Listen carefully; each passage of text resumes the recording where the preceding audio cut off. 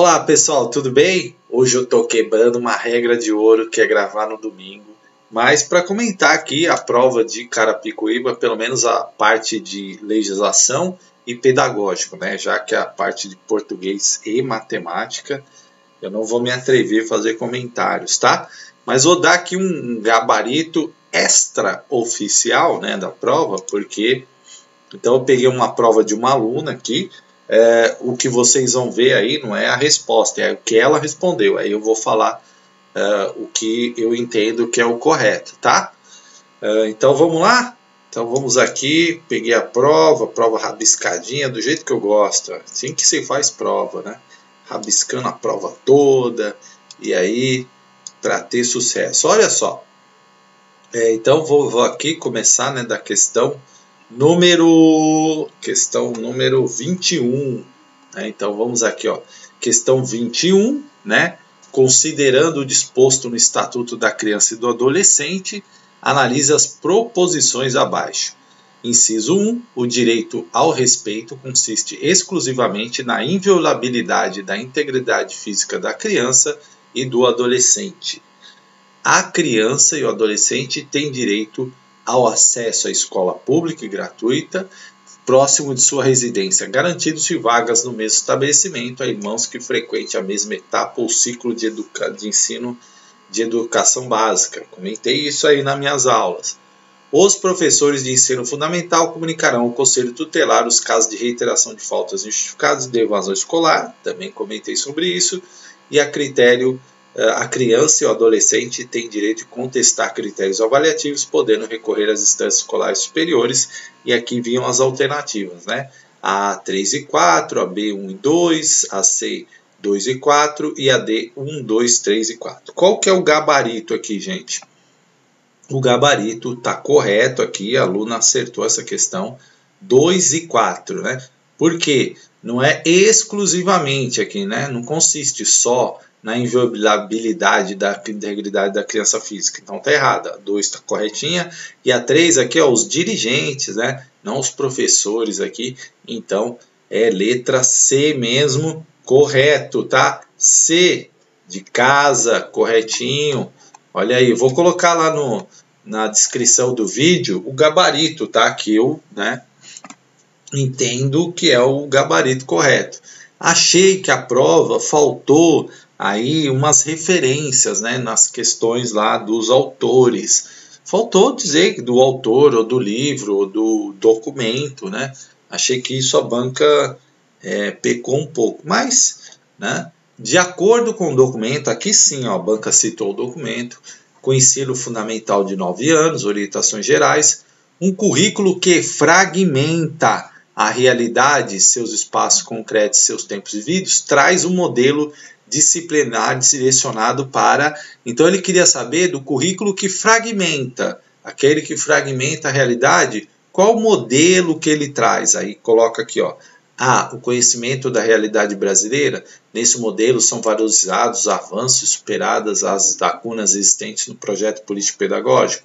B. A transmissão de conteúdos específicos organizados em tempos rígidos e centrado no trabalho docente individual, muitas vezes solitário por falta de espaços que propiciem uma interlocução dialógica entre os professores. C.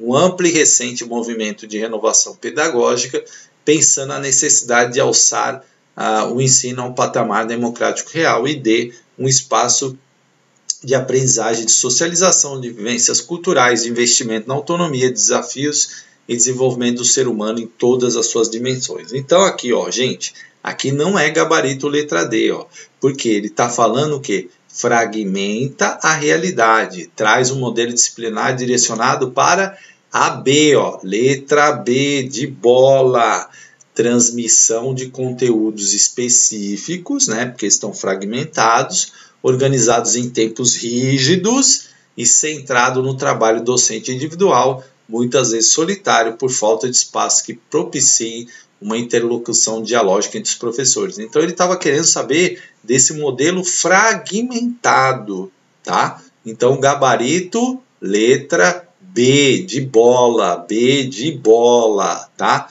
Então a aluna aqui, ó, ela errou. O gabarito é aqui, ó, letra B de bola. Tá? E agradecendo ela que cedeu a prova, né, para a gente poder fazer essa correção. 23, ó, primando pelo cumprimento da Lei Diretriz e Base da Educação Nacional e tomando como referência as experiências bem-sucedidas da renovação pedagógica no país, aponta-se a necessidade de considerar, entre outros, os seguintes princípios. Né? E aí, olha só, a banca aqui colocou a LDB, né? achei essa questão também pouquinho vaga, assim, né? mas tudo bem. Né? Tudo bem, então a gente foi por eliminação aqui. Ah, o conhecimento deve ser construído e reconstruído, não processualmente ou continuamente. Todos é, aprendem tempos e ritmos diferentes, e se não atrapalhou aqui né, a, a questão. O conhecimento não deve ser abordado em uma perspectiva da totalidade. Aqui, ó, a aluna também errou, porque sim, né, o conhecimento é um dos princípios lá né, é que a, lembra do que eu falo da totalidade, né? Que a gente, a educação é, tem que pensar no todo. Então, quando fala que o conhecimento não deve ser abordado em uma perspectiva de totalidade, essa questão está errada. Então, a diversidade metodológica, avaliação diagnóstica, processual e formativa deve estar comprometida com uma aprendizagem inclusive em que o aluno dentro da escola aprenda de fato. O ser humano é um ser de múltiplas dimensões e é importante uma gestão participativa e que tenha como referência seguir rigidamente o que for decidido pela direção na elaboração do projeto pedagógico. A escola, como polo irradiador de cultura e conhecimento, o desenvolvimento do aluno é a principal referência na organização do tempo e da escola. É, então, essa é a correta, primando aqui pela LDB e seus princípios gabarito letra D de dado, D de dado, D de dado, tá? Eu vou colocar lá na descrição 23, né? Então, aqui, ó, por que, que aqui não é a B? Porque falou aqui, ó, não deve ser abordado em uma perspectiva de totalidade. Então, gabarito letra D de dado. Lembrando que o meu gabarito é extra oficial, né, gente? D de dado, tá? Então, Vamos lá para 24. Na BNCC, o ensino fundamental está organizado em cinco áreas do conhecimento.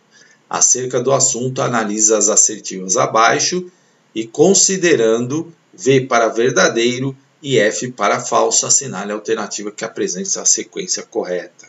Então ele disse assim, de acordo com a BNCC, ensino fundamental, essas áreas se intersectam na formação dos alunos, embora se preservem as especificidades e os saberes próprios, construídos e sistematizados nos diversos componentes. Cada área do conhecimento estabelece competências específicas da área, cujo desenvolvimento deve ser promovido ao longo dos nove anos, e essas áreas favorecem a comunicação entre os conhecimentos e saberes dos diferentes componentes curriculares, todas corretíssimas, verdadeiro, verdadeiro, verdadeiro, gabarito letra a de amor, a aluna aqui, ó, acertou o gabarito letra A, tá? Então, ok, correto, letra A. Vamos para 25 aqui, né? É, assinale alternativa em conformidade com o disposto na Política Nacional de Educação Especial na perspectiva da educação inclusiva, né? E aí vamos ver aqui o que, que é. O Movimento Mundial pela Inclusão não é uma ação política e já dançou, né? É sim uma ação política, cultural, social, pedagógica. Então já exclui a AI. A educação inclusiva constitui um paradigma educacional fundamentado na concepção de direitos humanos que conjuga igualdade e diferença com valores dissociáveis, não, indissociáveis. Então, também Tira B aqui, ó. Trocou uma palavrinha aqui para tentar enganar vocês. C. A inclusão escolar tem início na educação fundamental? Não, educação é aquilo que eu falei, desde a creche. Lembra que eu falo? Desde a creche até a pós-graduação, né? Inclusão. A IAD, que é o gabarito, considera-se que as pessoas se modificam continuamente transformando o contexto no qual se insere. Esse dinamismo exige uma atuação pedagógica, voltando para a alteração de situação de exclusão, enfatizando a importância de ambientes heterogêneos que promovam a aprendizagem de todos. Olha aqui a minha dica que eu sempre falo, ó. todos, né? Pensar a totalidade, sempre ampliando. Ó, o aluno até grifou aqui, ó, todos, gabarito, letra D, ok, correto. 26, né? Sobre a dimensão formativa ou continuada da avaliação, analise as preposições abaixo. 1. Uh, um, tem uma função diagnóstica, processual, descritiva e qualitativa, capaz de indicar os níveis já consolidados pelo aluno, suas dificuldades ao longo do processo e as estratégias de intervenção necessárias ao seu avanço. Ok. Envolve sistemas mais abertos de avaliação a serviço das orientações das aprendizagens dos alunos e não apenas do registro burocrático dos seus resultados. Super coerente com aquilo que tudo que a gente falou de avaliação, item 1 e 2, ok, perfeito. Agora olha o 3. Tem como função a regulação dos recortes nos tempos escolares, seja um ciclo ou uma série, apresentando caráter classificatório e somativo. Isso tem a ver com formação é, continuada? Não, né? Formação, forma, é, uma, uma avaliação formativa, desculpa, né? Não, né? Então, gabarito letra C, correto aqui, a aluna acertou, ó, C. C de casa, tá, gente? C de casa. 27, é, o desenvolvimento das capacidades linguísticas de ler, escrever, falar e ouvir com compreensão em situações diferentes das familiares não acontece espontaneamente. Elas precisam ser ensinadas sistematicamente. Isso ocorre principalmente nos anos iniciais da educação fundamental. Acerca do assunto, assinale a alternativa incorreta. a aluna fez certinho aqui, ó, riscou o incorreta, né? Para enfatizar aqui, para não se enganar. O trabalho a ser feito nesses três anos iniciais não se esgota na alfabetização e desenvolvimento dessas capacidades linguísticas. Ok, isso está correto. É na alfabetização do aprendizado da língua escrita que vem se concentrando os problemas localizados, não apenas a escolarização inicial, como também fracasso no percurso do aluno durante sua escolarização. Acho que no aulão eu comentei alguma coisa sobre isso, né? Assim, bem, aulão é bem a passar mesmo. E aqui, ó, o aprendizado e a progressão da criança dependerão exclusivamente do patamar em que ela se encontra? Não, né? Então, o gabarito correto aqui, letra C, incorreto, né? Na verdade está incorreto, mas é a alternativa certa, né? Oh, loucura isso aqui. 27C, de casa, tá? Há uma expectativa das capacidades linguísticas que as crianças devem desenvolver gradualmente, ou seja, daquilo que cada criança deve ser capaz de realizar a cada ano. Isso está correto. Então, como a gente estava buscando a incorreta, a incorreta é a letra C de casa, corretinho aqui, a aluna acertou. Aí aqui, sobre alfabetização e letramento, né? Que eu falei, que é um tema que aparece bastante aí. Sobre alfabetização e letramento, analise as assertivas abaixo, considerando V para verdadeiro e F para falso, assinale a alternativa que apresenta a sequência correta. Então vamos lá. A partir dos anos 80, o conceito de alfabetização foi ampliado com as contribuições dos estudos sobre a psicogênese da aquisição da língua escrita, particularmente com os trabalhos de Emília Ferreira e Ana Teberoski. Ok, correto, perfeito, verdadeiro aqui. F. No letramento, o aprendizado da escrita se reduz ao domínio de correspondência entre grafemas e fonemas, né? Não, e letramento não é isso, né? Letramento é mais amplo, né? Letramento é mais amplo, então falso, certinho. Na segunda metade dos anos 80, a palavra letramento surge no discurso especialista das ciências linguísticas e da educação como a tradução da palavra da língua inglesa liter literacy. Ah, não sei falar isso aqui. É, sua tradução se faz na busca de ampliar o conceito de alfabetização, chamando a atenção não apenas para o domínio da tecnologia do ler e escrever, mas também para os usos é, dessas habilidades em práticas sociais em que escrever e ler são necessários. Veja que a alternativa, né, a terceira aqui, é, opção, ela contradiz a segunda. Então, se essa fosse verdadeira, essa teria que ser falsa. Então, né, é uma questão aqui que dava para você, se você, pô, se isso aqui é verdadeiro, isso aqui é falso, né? Se você tivesse marcado verdadeiro aqui, tá? Então, verdadeiro, falso, verdadeiro, 28, letra A. A aluna acertou aqui, ó, beleza, 28, letra A. Vamos ver a 29. De acordo com Piaget, só a aprendizagem de leitura ou de outra competência básica quando a criança A. Desenvolve a percepção dos pormenores e dos atributos sensórios motores dos símbolos, letras e números. B. Já carrega consigo uma noção inata de tais aprendizagens? Não, né? Aqui não tem essa concepção inata, então não é alternativa B. Tá? C. Memoriza os caminhos? Não. A ser percorridos para sua finalidade? Também não. D. Antecede com uma aprendizagem não prática ou não sensório-motores de símbolos? Não. E aí, pela teoria do, da, da, da teoria do Piaget, né? aqui seria a 29 seria a alternativa A de amor, né? Desenvolve a percepção dos pormenores dos atributos sensórios motores aí dos símbolos, letras e números seria a alternativa A. Aqui a aluna errou, né? 29, letra A de amor. 30 surge no final dos anos 70 início dos anos 80, se põe como uma reação de alguns educadores que não aceitam a pouca relevância que a pedagogia libertadora dá ao aprendizado do chamado saber elaborado, historicamente acumulado, que constitui parte do acervo cultural da humanidade Trata-se da pedagogia tecnicista, libertária, crítico social dos conteúdos e tradicional.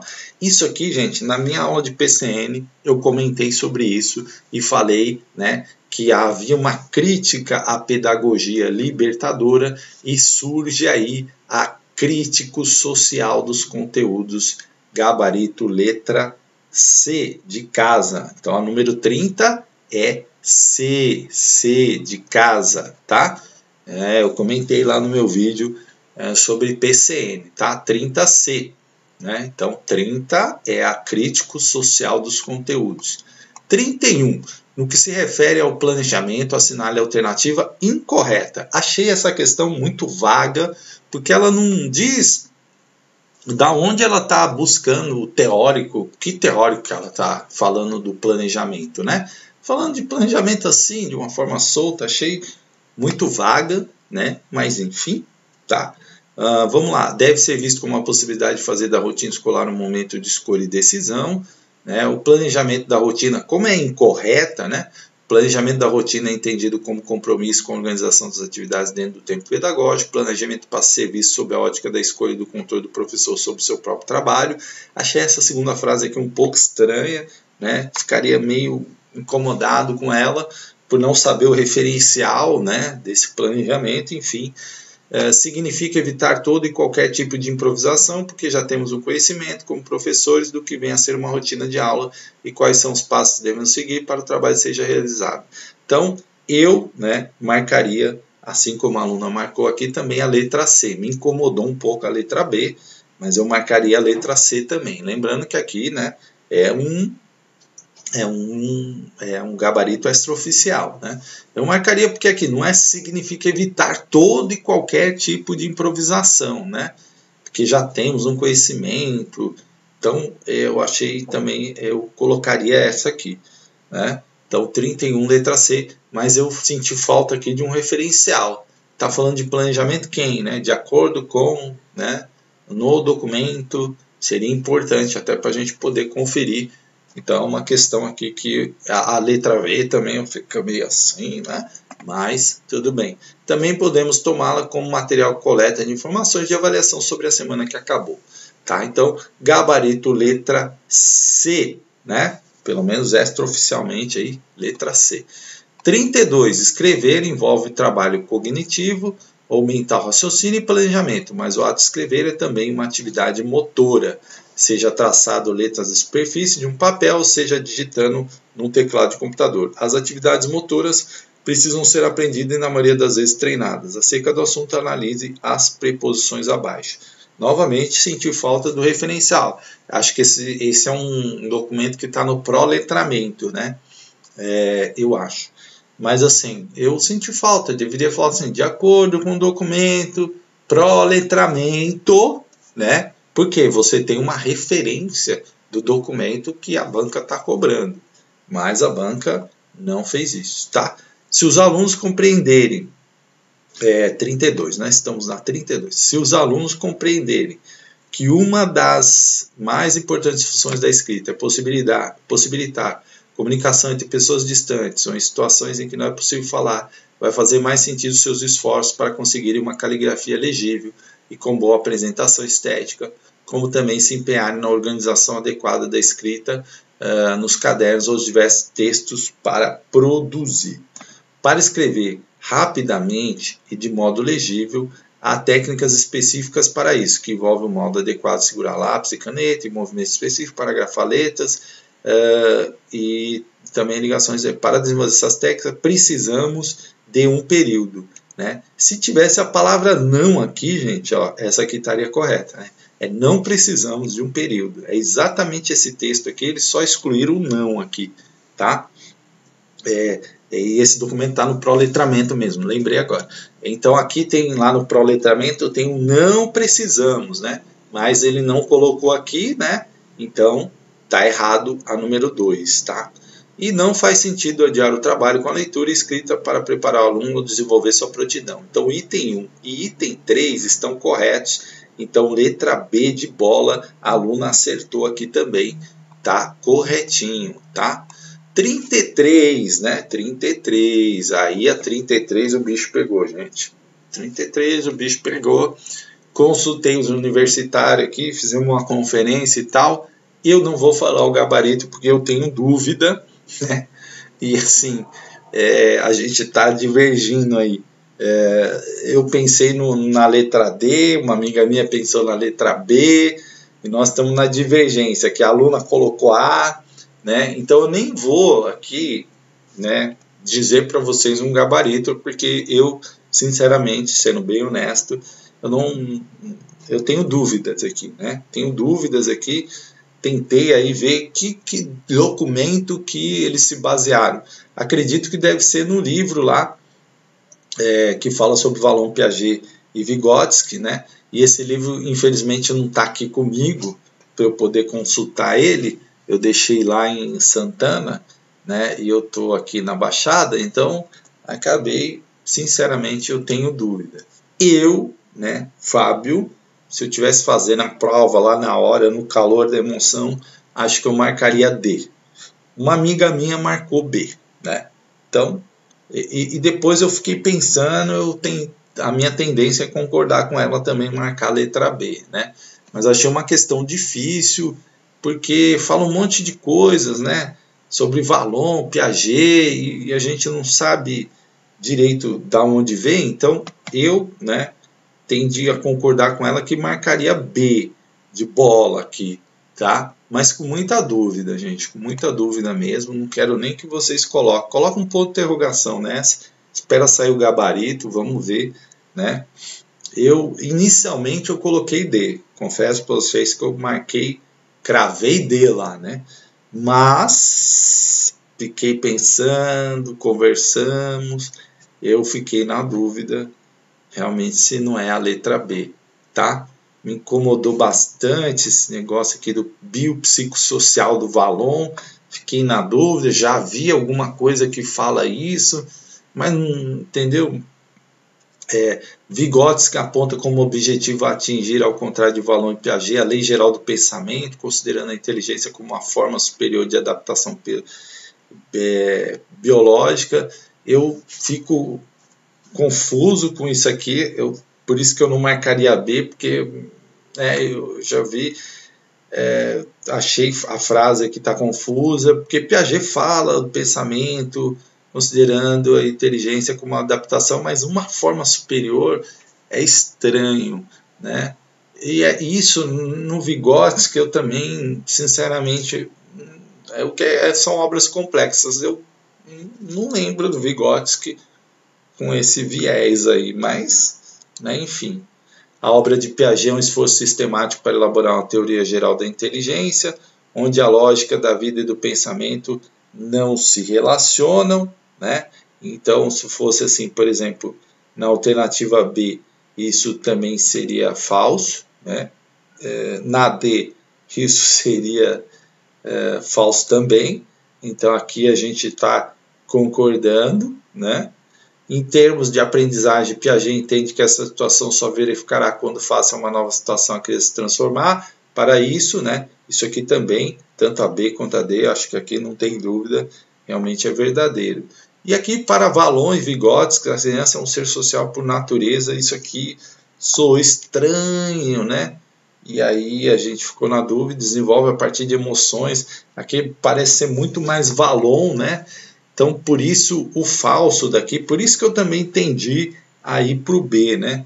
Uh, por conta dessa última aqui, que eu acho que não é a praia do, do Vygotsky aqui, essa questão das emoções, muito mais ligada ao valor. Mas enfim, né? Vamos lá. Coloca B aí, né? Coloca B. Né? Mas é extraoficial, tá, gente? É B na dúvida, tá, Estou sendo bem sincero aqui, não gosto, não gosto de ser aqueles cara que fala, ah, eu sei tudo, eu sei. Não, tem coisa que eu também né, fico em dúvida, né? Senão todas as provas eu acertaria tudo, né? Aí é, era fácil. Essa realmente eu fiquei bem na dúvida, né? Então, com, vou seguir aqui os universitários que eu consultei, marcaria a letra B de bola, tá bom? 34, né? A leitura precisa ser trabalhada em sala de aula como processo compartilhado entre o professor e aluno, professor e alunos, principalmente nas séries ou ciclos iniciais. Nome da gente de Pedro Bandeira. Eu não gosto do meu nome, não fui eu quem escolheu. Eu não sei por que se metem com o nome que é só meu. O neném que vai nascer vai chamar como padrinho, vai chamar como vovô, mas ninguém vai perguntar o que pensa o coitadinho. Ó, Pedro Bandeira, hein? Considerando o exemplo acima acerca do trabalho com textos poéticos, assinale a alternativa correta, tá? Então estamos na 34. Uh, Aqui é correta, viu? Ela grifou corretinho, fez certo, né? Para não confundir. A sonoridade e a musicalidade próprias do texto poético são agradavelmente percebidas pelas crianças no ato de uma expressiva leitura, o que mostra que é um gênero que se presta à leitura oral, individual ou em coro, né? E aí depois vem a leitura de textos poéticos da criança em fase da alfabetização não é indicada, pois apesar de aproximá-la desse gênero textual, não exerce papel importante na sua expressão verbal nessa fase está fora, né? Esse tipo de texto, diferente dos demais gêneros textuais, não se desdobra em múltiplas leituras também não. E quanto à interpretação, é importante ressaltar que no texto poético o leitor sempre recebe pronto, não, né? Tem poema que todo mundo, cada um às vezes dá uma interpretação. Então, 34, letra A, né? A aluna acertou aqui também, concordamos aqui, letra A. Ok, vamos em frente, 35 é, várias atividades propiciam que o aluno desenvolva a atitude de buscar validar suas construções, um conteúdo atitudinal, importante para o desenvolvimento do conhecimento matemático. Acerca do, do assunto, analise as preposições abaixo. Isso aí está naquele documento no MEC, né? Documento super é, extenso, né? Fala muitas coisas aí. Aí coloca aqui, o ábaco é muito empregado para auxiliar a criança a perceber concretamente os agrupamentos que se realizam quando operamos com o sistema decimal de numeração. Ok. Utiliza-se muito material dourado para trabalhar com o aluno a troca de dezenas por unidade, de centenas por dezenas. Esse uso ajuda a perceber mais facilmente os agrupamentos e as trocas próprias das operações com os números do sistema numeral decimal. Também está ok. Está explicitamente escrito isso lá no documento, gente. 30, é, 35.3 os jogos podem auxiliar o aluno, com a ajuda do professor, a construir conhecimento matemático em grupo, entender, discutir as regras de ação e negociar ideias, decisões, além de desenvolver comunicações matemáticas e validá-las. Esse, inclusive, eu falei no aulão, né? Não falei dos dois anteriores, falei do livro didático, achei que eles iam para o livro didático, mas não foram. 35D, 1, 2 e 3. Pelo menos a 3 eu falei, né, gente? Pelo menos. Aí, letra D de dado corretinho, acertou. Agora eu vou virar a tela aqui, que a tela tá desmilinguida aqui. Vamos lá. Opa, aí.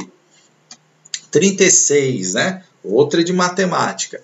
A aprendizagem de matemática se dá em conjunção com a construção do conhecimento de diversos outros campos, em particular com a alfabetização, leitura escrita na língua materna. Acerca do assunto, é incorreto afirmar que. Então, é o que é incorreto, né? É, então é o que é incorreto.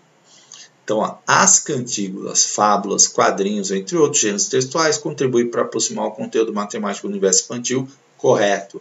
As receitas culinárias têm sido empregadas com sucesso na aprendizagem da matemática. Ao lê-las, executá-las e provar os resultados obtidos, o aluno pode entender melhor as grandezas em medidas. Também está correto. É recomendável ficar atento aos tipos de letras que a criança está aprendendo nos livros de oficina, para que, particularmente em matemática, não seja adotada a mesma tipologia. E aqui, né, é, aqui está incorreto, né? Eles excluíram uma palavrinha aqui, né? É, não seja particularmente, é, não seja adotada a mesma tipologia, eles deram uma, excluíram uma parte, uma, uma palavrinha aqui e por isso está incorreto. Então, gabarito letra C. Propor à criança que também construa suas próprias receitas, é uma maneira de levá-la registrar uma boa informação, um ótimo ponto de partida para que ela pouco a pouco aprimore os registros matemáticos dessa grandeza. Então, gente, a banca ela pegou esses textos lá do MEC, né, e foi tirando palavrinhas só, né?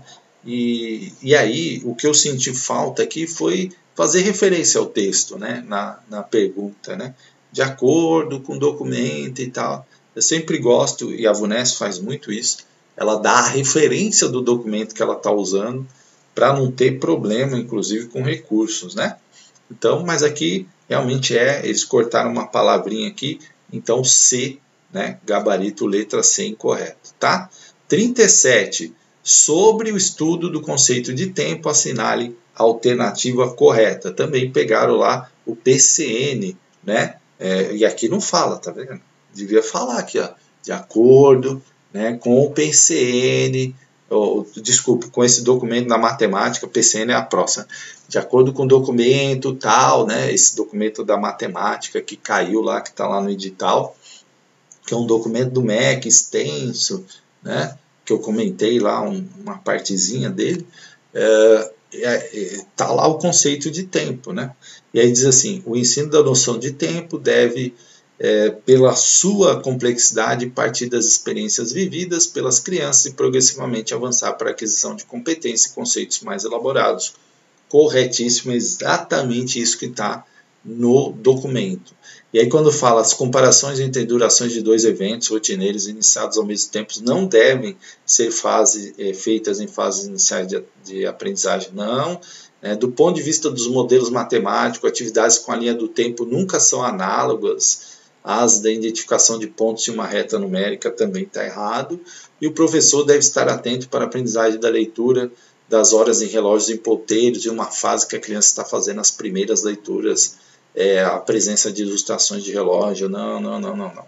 Então é exatamente isso aqui que está lá no documento, é, letra A. 38C, né? Desculpa, falei a questão, antecipei. Né? Né? No que se refere ao ensino de aprendizagem, aqui sim, ó, é, tá no PCN, né? Então, achei, senti falta, né? Tinha que falar, de acordo com o PCN ou no PCN, no que se refere ao ensino de aprendizagem de geografia. É importante o referencial, né, RBO? Importante, RBO. Evita problema para vocês, hein? A análise da paisagem deve sempre focar na descrição no estudo de mundo estático, né? No mundo estático aqui a gente já elimina. Embora o espaço geográfico deve ser objeto central do estudo, as categorias paisagem, território e lugar devem também ser abordadas, porém somente nos ciclos finais, não, né?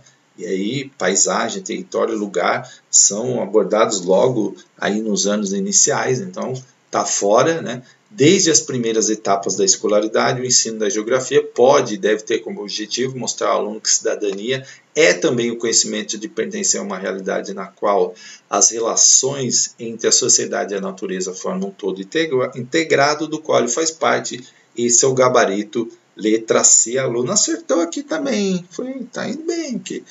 Território não é apenas configuração política de Estado-nação, mas sim espaço construído pela formação social. Portanto, para estudar essa categoria, não é necessário que os alunos compreendam que os limites territoriais são variáveis e dependem de fenômeno geográfico considerado. Está fora também, né? Gabarito, letra C, correto. C de casa, de correto. Uh, vamos. Eita, baguncei tudo, gente. Oh, meu Deus, o que eu fiz aqui? Caiu a prova, mudei a prova rodei a prova toda aqui. Deixa eu voltar lá, que eu perdi aqui a prova. Eita, matemática eu nem analisei, né, gente? Vamos para a questão 38 aqui, que eu derrubei aqui, fiz maior confusão aqui agora, gente. Agora vai, hein? Olha lá, 39, né? 39, aí sim, ó. Assinale a alternativa em conformidade com o disposto no PCN, ó. Que bonitinho aqui a banca, ó. Quem não fez isso em todas, né? Acerca do ensino e aprendizagem de história no segundo ciclo. Aí sim, ó, deu referencial, foi bonito, né? É, agora sim. Diferentemente do primeiro ciclo, os questionamentos não são mais realizados a partir do entorno dos alunos. B.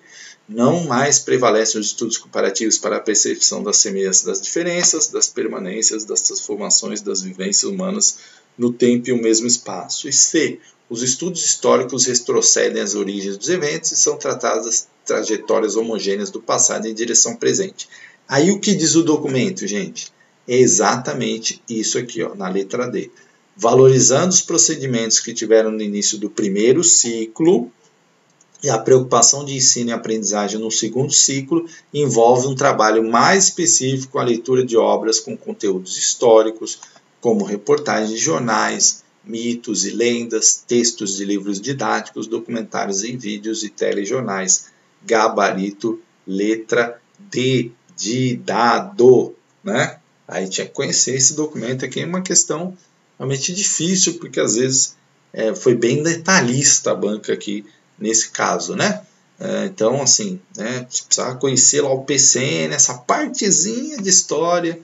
É, então, letra D aqui, né? Mas a D era mais assim abrangente mesmo, dava para você pensando naquela questão, né? Fez referência ao primeiro ciclo, dava para tentar intuir. E a aluna aqui, essa ela errou tá? letra D de dado. E número 40, de acordo com Júlio Gropa, Aquino, assinale a alternativa correta no que se refere à autoridade e respeito. E aqui, essa aqui também eu discuti lá com a minha amiga Elza, ela, né, inicialmente eu pensei, ah, acho que é a C mesmo, depois eu fui verificar que quando se fala de respeito unilateral, a gente está falando de autoritarismo, né, que é unilateral, é verdade, eu não tinha, né, é, porque aí é de um lado só, né? Uni, né? Então é autoritário. E aí realmente eu falei, não, é, então tá errado mesmo, né? Ó, fui tentando fazer a correção rápida. E aí, claro, é gabarito letra A. Autoridade por competência vincula-se à admiração nutrida nas relações com seus subordinados a partir do prestígio e da competência. É, o Júlio faz referência isso a outro autor dentro do livro dele, né? uh, para esse conceito. É, se eu não me engano, é Araújo. E aí é letra A. A Elza aqui me deu uma força nessa questão. Uh, é letra A, né? Se o professor apenas consegue ser obedecido pelo uso de recursos punitivos, ele está exercendo o papel de autoridade, não, né? A autoridade por competência funda-se nas relações de respeito unilateral, né? Unilateral é só de um lado, né? Então, não pode ser. Autoridade fundada em relações de respeito mútuo e no prestígio obtido a partir da competência necessita ser autoritária. Então eliminamos B, C e D, gabarito, letra A de amor. Então, gente, espero ter ajudado vocês aí. É, é um concurso que tem muitas vagas, né? Então acho que vai muita gente vai conseguir, né? Aí depende do resultado de português, matemática. Espero que vocês tenham ido bem em português e matemática. Mas fica aí minha contribuição. Peço desculpa porque realmente a 33 é, gerou dúvida. Eu acho, né, vai discutindo aí com o pessoal que é letra B, mas enfim, é, é, fica aí né, o nosso gabarito uh, extraoficial, tá, gente? Então, aguarde o gabarito da banca, né? Aguarde o gabarito da banca é o nosso aqui extraoficial. Espero ter ajudado vocês. Grande abraço e até a próxima prova. Agora é pegar essa prova, começar a fazer revisão, o que, que você errou em matemática, o que, que você errou em português, o que, que você errou uh, em pedagogia, em conhecimento de legislação. Vou começar a estudar já pensando na próxima, gente. Se você passar em Carapicuíba, ótimo. Senão você já está se preparando para a próxima prova aí, tá bom? Grande abraço e até uma próxima.